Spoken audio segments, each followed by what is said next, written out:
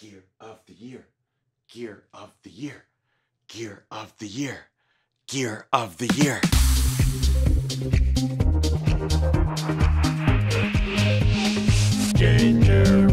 What is up, everyone? Ethan Newberry, the Ginger Runner, here for my favorite video of the year. Gear of the Year 2023. We're going to talk about my favorite items that I reviewed throughout the course of the last 365 days. Of course, I review a ton of stuff, but I can't review everything, so I might miss a couple items on this year's list. That is what the comments are for below. So if there's something that I miss in the list that you're about to watch and you're like, dude, how could you not put that in there? Add it to the comments. Let's keep that discussion going. It's a great way for people to come back to this video throughout the year and see like, hey, what products were some of the best, some of the favorites, what's on sale now. Last year, I divided all of the gear up into 12 different categories. This year, just because, I'm adding one. 13 categories this year, and they are best running apparel, best running shorts, best casual gear, best running storage and hydration item, best running accessory, best running gadget, best running nutrition, best items to keep in your drop bag, best road shoes, best plated road shoes, best trail shoes, best plated trail shoes, that's the new category, and of course, the best budget bonus item. Was that all 13? Whew, we have so much to cover in this year's Gear of the Year video. Before I do though, the FTC does require that I let you know that nothing in this video is sponsored or paid for. All of the items are either provided by Running Warehouse, the brands themselves, or I purchased those items for review. I do not accept any financial compensation in any way for any item to appear on this list. These are my opinions. These are the items that I use.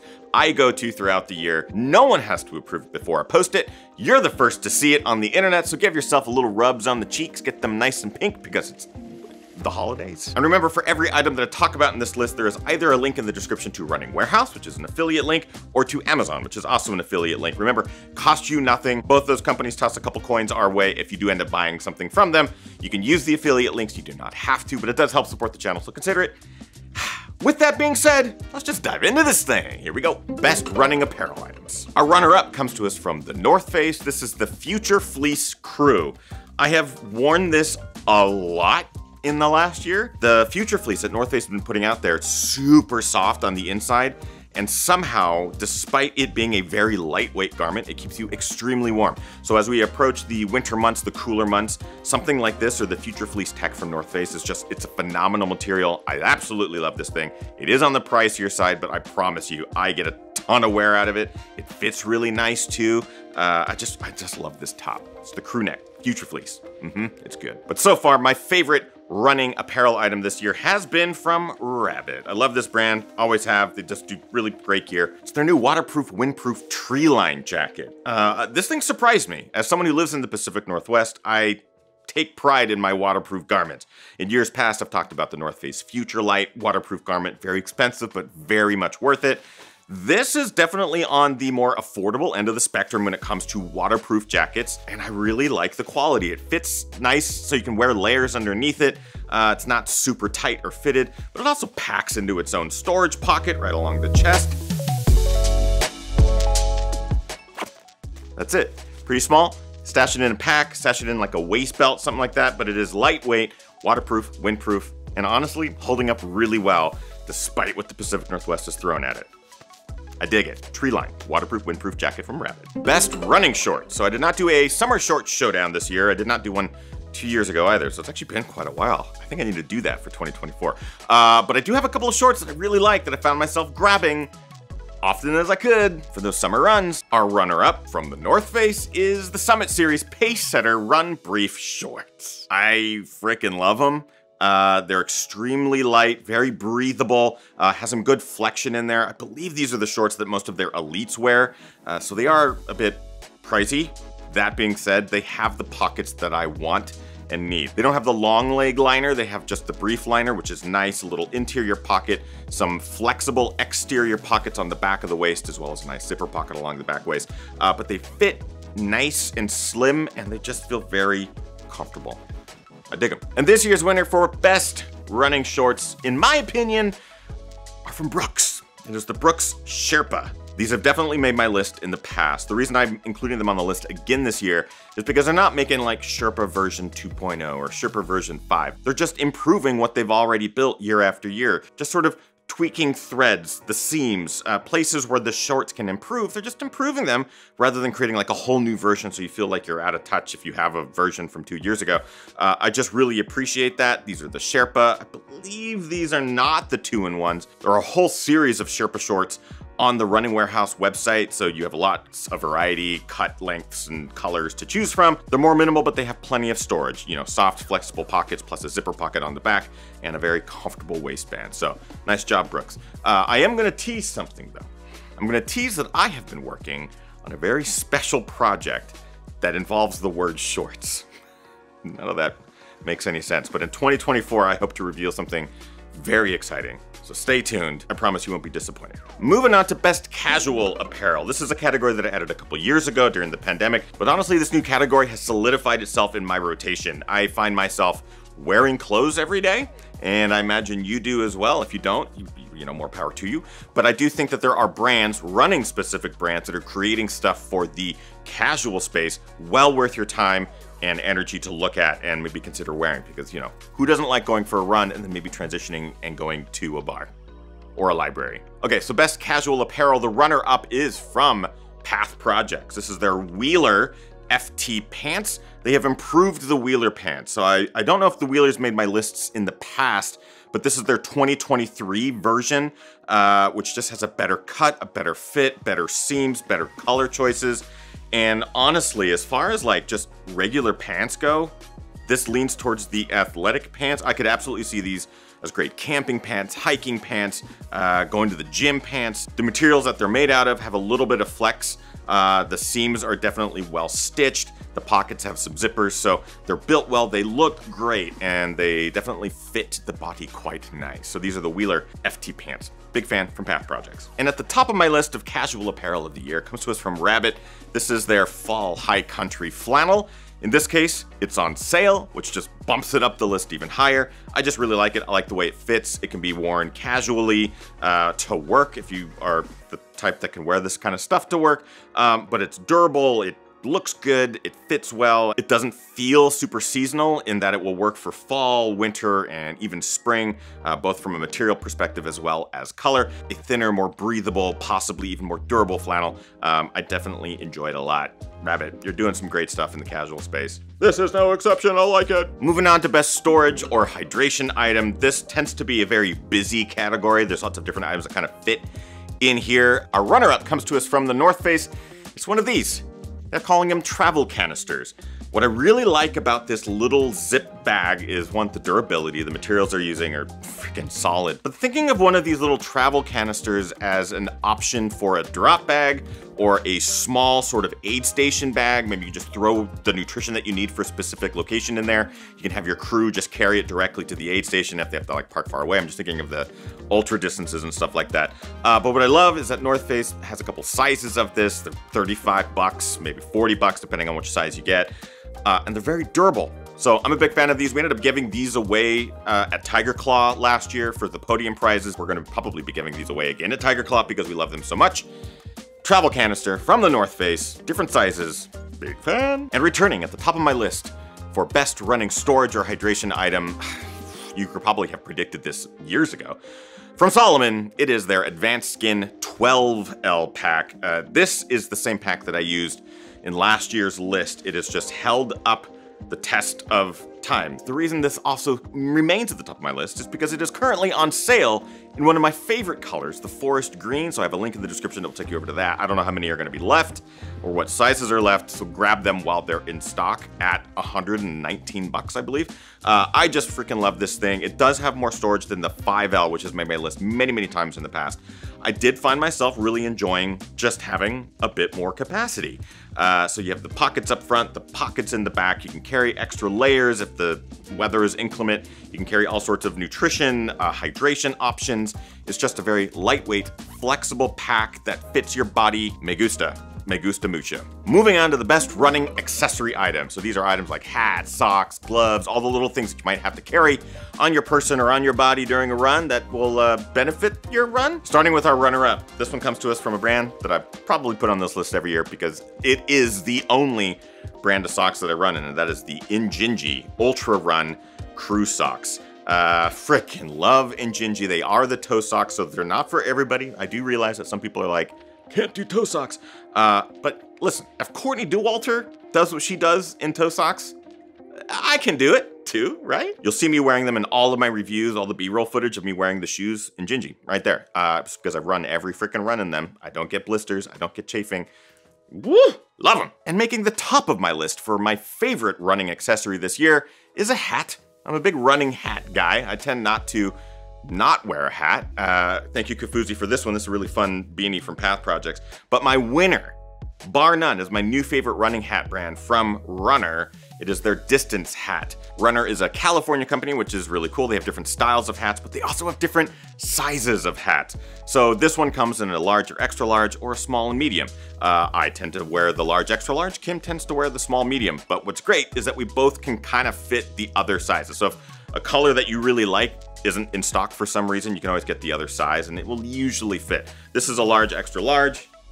Thank you Kofuzi for the beanie but I'm putting this guy on for the rest of this year's Gear of the Year. I just really like him. Another secret slash peek behind the curtain is that I loved RNNR so much at the beginning of the year, I actually reached out and was like, hey, I really want to make more running hats because I haven't made a running hat in five or six years since I did the original GR camp hat.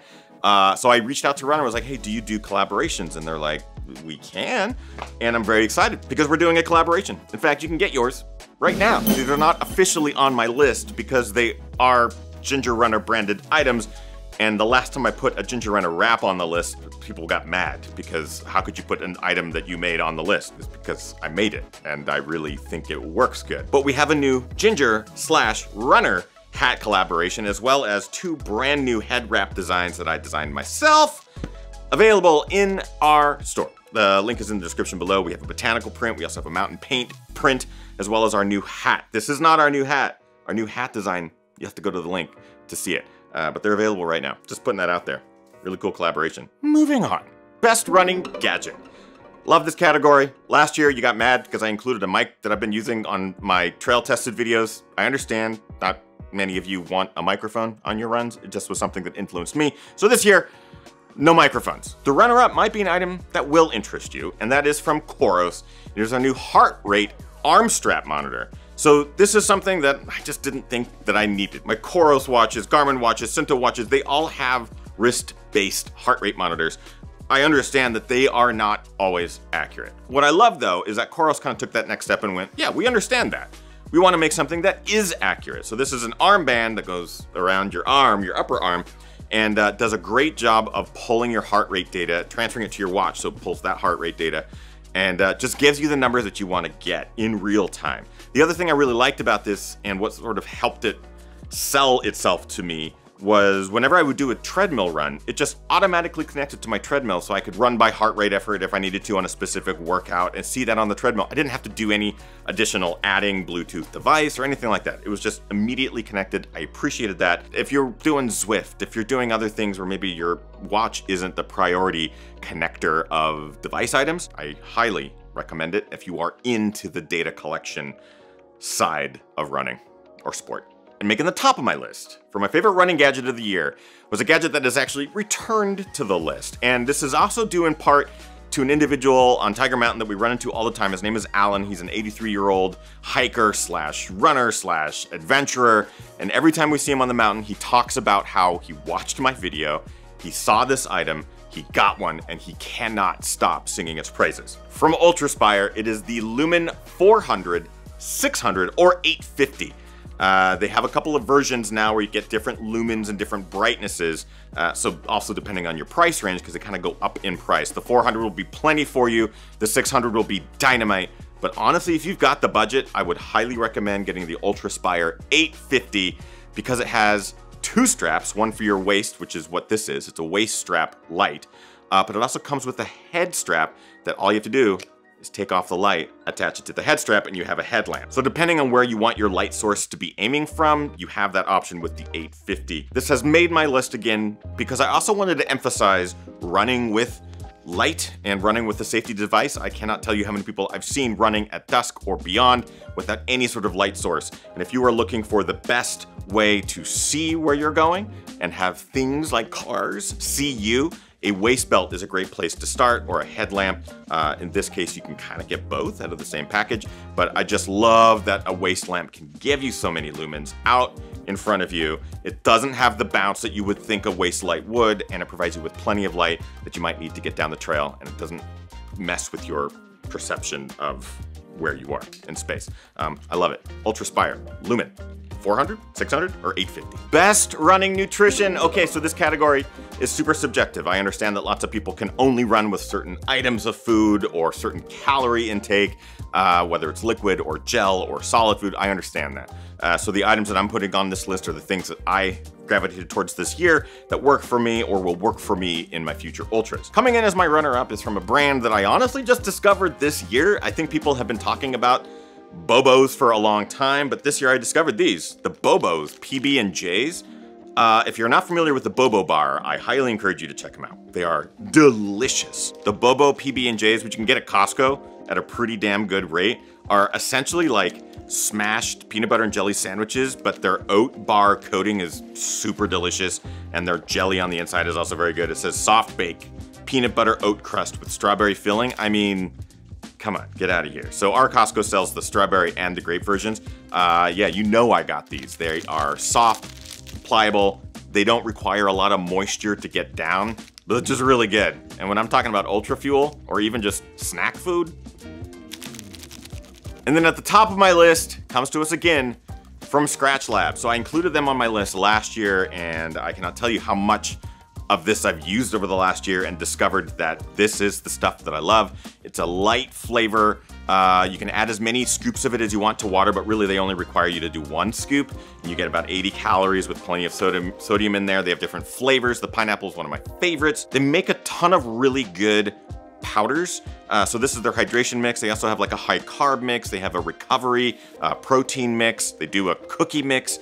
I just really am enjoying what Skratch Labs is doing. We use Skratch Labs for Tiger Claw as well. We reached out to them, I was like, hey, we appreciate your product. Can we use it for our hydration? It works really well, no matter where your race might be. Heat, cold, somewhere in between. Tailwind was a close second. Their grape flavor was a new flavor that I think they did in a limited edition run this last year, and I was gonna put it on my list, but because it was limited edition, and you can no longer get it, it made me quite sad. So Tailwind, if you watched this, you could have made the list.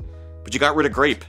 Where's our grape? Where's our apple? Like, give those flavors. Like, let's get going with that. Moving on to the best drop bag item. Things that you would stash in your drop bag for the end of a race or for an aid station that might assist you in whatever needs assisting. We're gonna start with our runner-up, and this has been on the list for years and years and years. Might have been on year one of doing Gear of the Year. Some Squirrel's Nut Butter. It's nut butter for your nuts. Honestly, it is just the best anti-chafe balm that I have used in my years and years of experience of lubing up the bits. It's very few ingredients, it's very affordable, it works. Uh, I just, I really like it.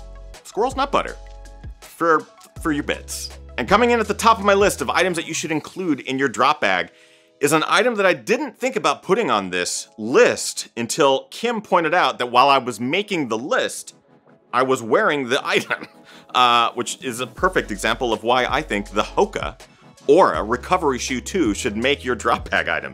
Uh, this is something that you should put in your drop bag when you finish your race. If you finish a marathon, if you finish an ultra, rip those shoes off. You probably smell, they're probably dirty, they're probably soaking wet. Stick them in a shoe bag, and in that shoe bag, pull out whatever recovery item that you might have for your feet. In this case, I recommend the Ora Recovery 2. They're like a slipper, they're very soft, very soft, both in cushioning and the upper, but they're just really comfortable and they're very easy to get on. You can even turn it into just a slider if you want to make them a slider. I got these earlier this year and I just don't think I stopped wearing them around the house. They've become my house slipper. Um, freaking love them. All right, so moving on to some of our favorite categories. I know you probably have sat through the last X number of minutes just to get to the shoe categories. And I understand that. Shoes are what we're all here to learn about, right? My favorite shoes of the year, and I divided it into four different categories. Best road shoes, best road plated shoes, best trail shoes, and best trail plated shoes. That new category this year, because there's so many trail shoes that are now incorporating carbon plates, not just rock plates. We'll get to that in a minute. We're gonna start with my favorite road shoes of 2023. this was difficult because I do feel like there was a good amount of road shoes this year, good amount of trail shoes this year that just like kind of blew expectations.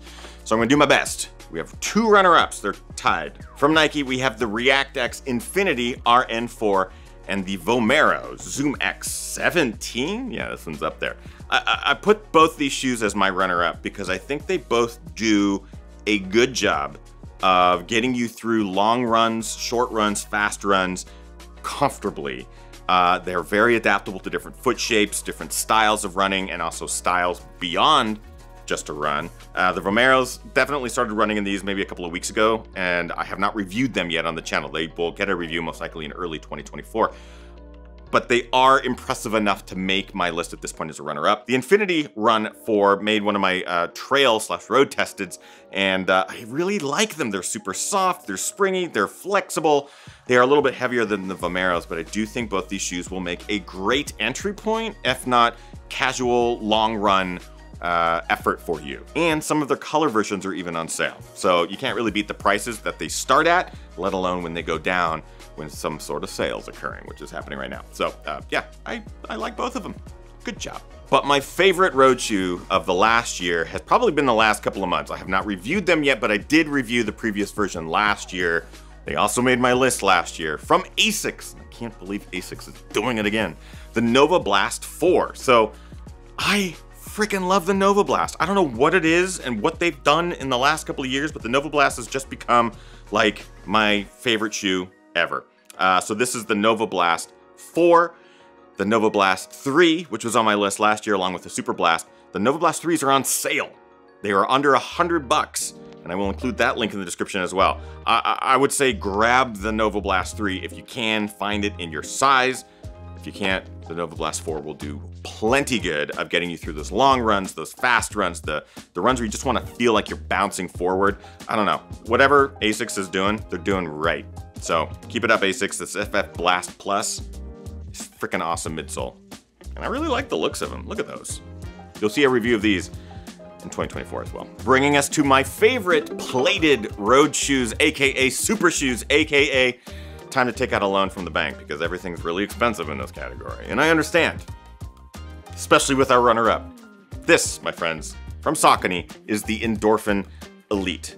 Uh, I did talk about this shoe this year. This is my second pair that I got because I do like them so much. It is carbon plated, stiff, cushioned, bouncy, freaking propulsive goodness. Uh, so I can't recommend it enough. That is if you have the dollars in your account because it is an extremely expensive shoe, over $270, which is going to make many of you clinch. That's why it's a runner-up and not a winner. That also made a problem because now my winner is also a tie. Uh, the good news is that they're both the same price. They are from different brands. So you get to choose which one you like better. Best plated road shoes from me for the year are these right here. Starting with New Balance, this is the Super Comp Trainer V2. I freaking love this shoe. It's light, it's springy, has that energy arc plate on the inside, and then from Saucony is the Kinvara Pro which the review did not make it out this year yet. I have it all filmed and it was editing and I just didn't have B-roll yet filmed for it. But uh, the Kinvara Pro was a surprise for me. So these two plated shoes, same price point, $100 less than the Endorphin Elite that I just talked about. So you're already saving 100 bucks and you're getting yourself a snappy, cushioned, wonderful race day ready shoe. So if you're looking to run a fast PB in the marathon distance, half marathon distance, but you don't want to fork out $300 for a carbon plated shoe. You don't have to.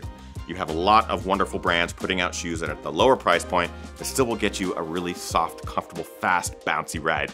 And these two are some of my favorites from 2023. Moving on to my favorite trail shoes of 2023, which is also probably one of my favorite categories. Uh, most of the shoes that I put videos out for this last year were trail shoes. And oh, this is a good year for trail shoes, am I wrong? I'm not. It was. Uh, so let's start with our runner-up. The reason I made that a question is because I actually have a tie again. Sometimes I just can't make a solid decision and I have to compare two shoes and I just was like, ah, they're about the same. So I'm gonna consider these both runner-ups to my favorite trail shoe of the year, but uh, here they are. My runner-up favorite trail shoes of the year are these. From New Balance, this is the Fresh Foam X More Trail version 3, and from Saucony, it is the Endorphin Rift.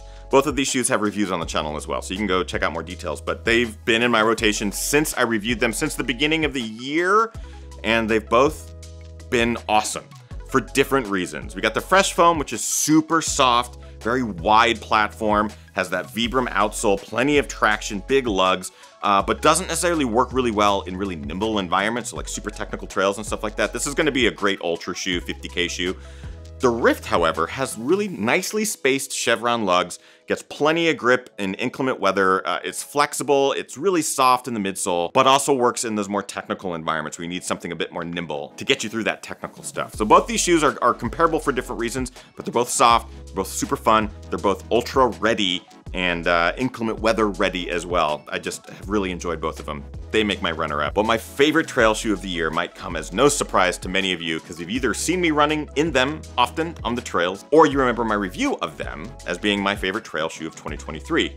Happy to say, that hasn't changed. I was thinking maybe they could get moved out of the spot. As far as bang for your buck goes, you really can't beat the North Face Vective Endurus. This is a $139 shoe, uh, has lasted me many, many, many, many miles. The outsole is nice, durable rubber that does get grip when things are wet. The midsole is nice and soft, but yet not so soft that it just kind of loses that ability to be precise and nimble and move you forward. Uh, I've been a big fan of this year's Vective series. The Endurus is no exception. I think this is a solid trail running shoe that can work with a lot of different foot types, a lot of different distances, and uh, yeah, it's just really been wonderful. I cannot wait to see what North Face has up their sleeve next year and, and beyond because I think they're finally taking trail running seriously and uh, it shows in their products, and that is what makes me very excited. Oh, but there's more. These are my favorite plated trail shoes of 2023. So I added this category purely because I felt like the industry of trail running was moving forward in this last year. You can see it from TRE, the, the running event, and moving forward into 2024, we're gonna start seeing a lot more trail shoes utilizing carbon plates or really stiff plates to help propulse, propel uh, their elites to the podium.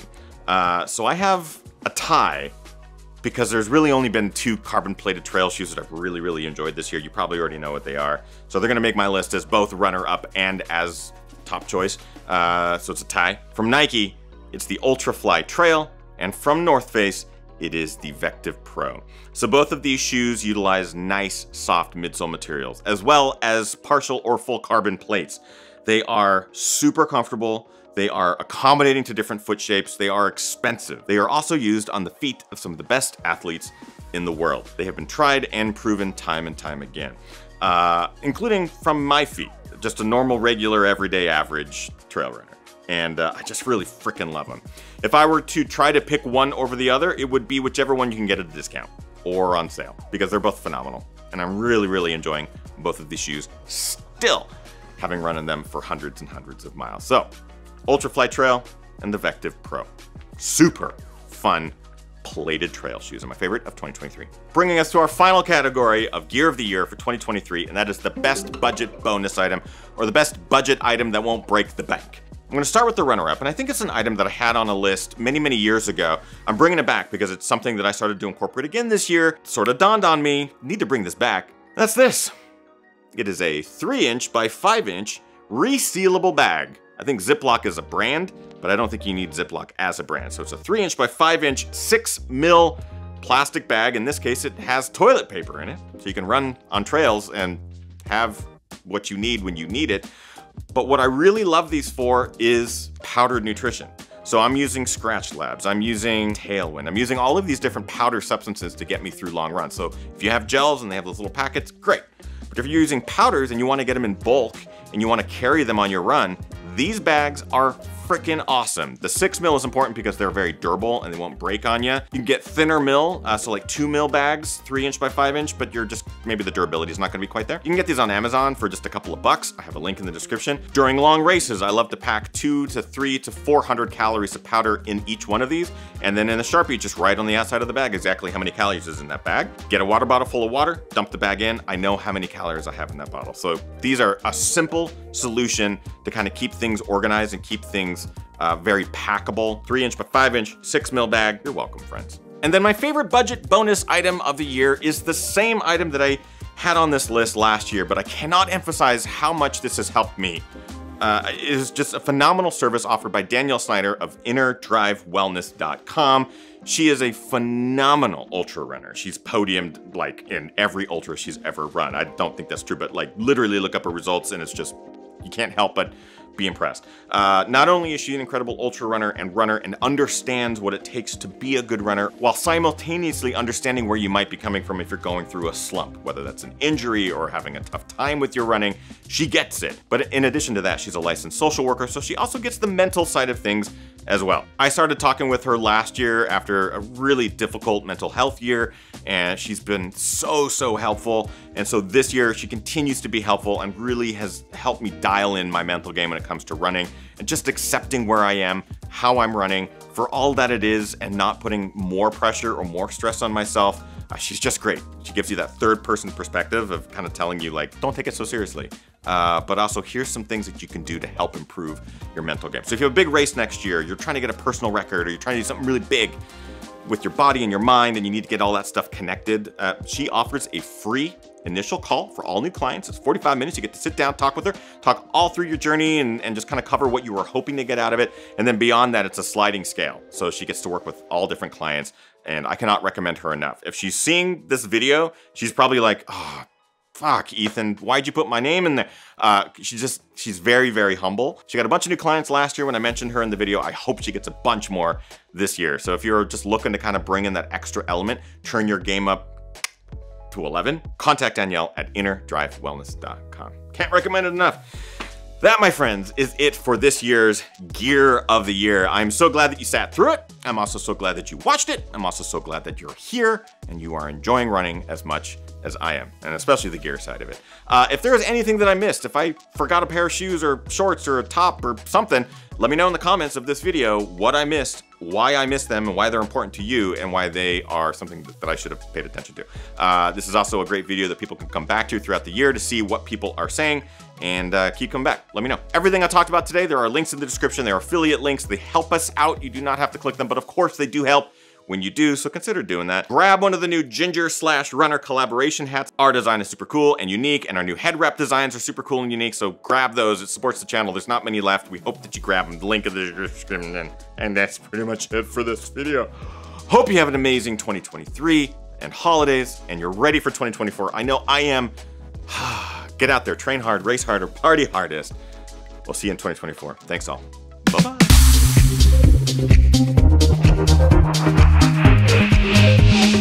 Ginger Run.